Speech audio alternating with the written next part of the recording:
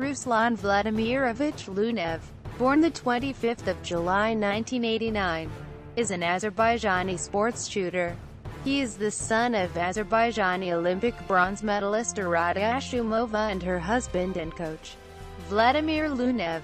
He competed in the men's 10 meters air pistol event at the 2016 Summer Olympics.